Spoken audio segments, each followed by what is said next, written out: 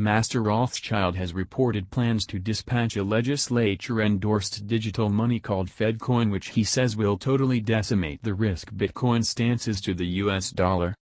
The Rothschild-controlled Federal Reserve asserts that the new FedCoin will see the finish of other prevalent cryptographic forms of money, for example, Bitcoin, Litecoin, and Ethereum, and will enable the U.S. government to better control and direct the computerized cash advertise.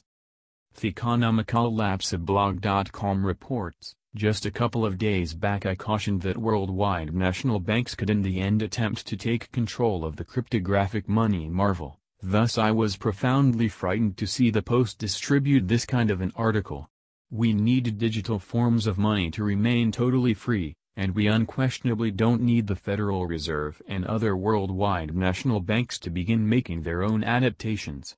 As a result obviously once they make their own particular renditions they will need to begin limiting the utilization of any contenders. The one thing that could crash the cryptographic money upheaval quicker than whatever else would be obstruction by national governments or worldwide national banks. Tragically, now that Bitcoin, Litecoin, Ethereum and different cryptographic forms of money are getting so much consideration, it is inescapable that the forces that be will make move. On Monday, The Washington Post distributed an assessment piece by Professor Campbell R. Harvey of Duke University that was entitled Bitcoin is enormous. However, Fedcoin is greater. These days, there is a plan behind basically everything that The Washington Post distributes, thus it isn't only a happenstance that they have distributed an article with Fedcoin in the title. Here is the manner by which that article starts. In the course of recent weeks, Speculators have been running to Bitcoin, the advanced money whose esteem has taken off by around 2000% in the previous year alone. And keeping in mind that numerous business analysts are advised against fervor about Bitcoin, which has gotten up to speed in what might be one of the greatest theoretical rises ever, it's imperative to note exactly how progressive the innovation might be. In fact, the innovation hidden Bitcoin could on a very basic level change the way we consider cash. Teacher Harvey goes ahead to clarify that it is just a short time before paper cash is eliminated, and that some variant of Fedcoin is inescapable. Be that as it may, it doesn't need to be. The Federal Reserve and other worldwide national banks could simply allow us to sit unbothered and enable us to make our own particular monetary forms.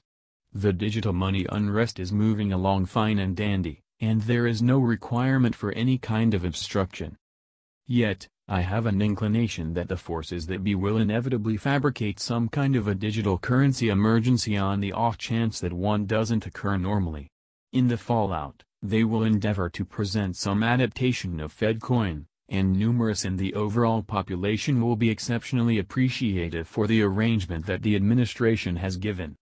What's more, that day might be nearer than we might suspect. Truth be told, the U.S. government has just put millions into digital money investigate. To fan the fire, the U.S. government has been thoroughly considering Bitcoin for around two years now. And as opposed to battling Bitcoin, the feds appear to be ready to wipe out the U.S. dollar by making their own computerized cash. The National Science Foundation, 1A, U.S. government organization that backings and assets explore, has granted $3 million to three U.S. colleges for colossal digital money investigate.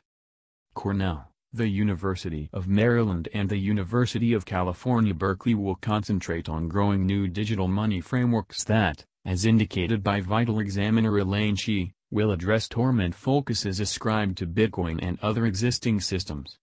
The Federal Reserve is a long way from alone. Other worldwide national banks are doing their own particular research, and the Bank for International Settlements says that every single national bank may in the long run require their own particular digital forms of money. The accompanying originates from CNBC. National banks may one day need to issue their own digital forms of money, the Bank for International Settlements said in its most recent quarterly audit regardless of whether a national bank ought to give an advanced other option to trade as most squeezing out nations, for example, Sweden, where money use is quickly declining, the Sunday report said.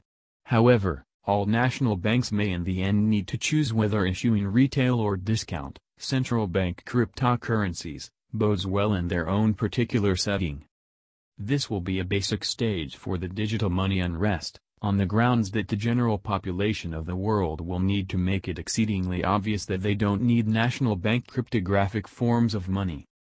National bank cryptographic forms of money would basically be an expansion of the present obligation-based framework that is efficiently oppressing humankind. The thing that makes digital forms of money so awesome is the way that they are not obligation-based and they are enabling humankind to express freedom from the present framework. As existing fiat monetary forms fall flat, we need there to be autonomous digital forms of money that individuals can use as an option. What's more, we don't need to simply envision what that would resemble. Actually, it is now occurring in Venezuela. Be that as it may, in Venezuela, the fall of the bolivar has constrained local people to swing to options like Bitcoin and neighborhood group-issued monetary forms with settled trade rates. The fast disintegration of the bolivar's esteem influenced ordinary exchanges to like purchasing basic supplies and paying cabbies untenable. Clients needed to pay with extensive, lumbering piles of bolivars that were hard to transport. Patricia, a Venezuela-based correspondent, tweeted a photograph of the 5,000 bolivars, the greatest sum, she could pull back from an ATM in Caracas. They're worth around 5 cents. Le expressed that she had held up 20 minutes inland to get 5 cents in hyperinflated cash worth practically zero esteem, as per CCN. Despite the fact that Bitcoin exchanges can take hours, even days, to settle, neighborhood dealers have promptly grasped the advanced cash. This is an insurgency that can possibly totally change the worldwide monetary framework, yet I have an inclination that worldwide national banks will never give it a chance to get that far. The present framework pipes actually trillions of dollars to the extremely best of the evolved way of life, and the world class are going to enviously watch their brilliant goose.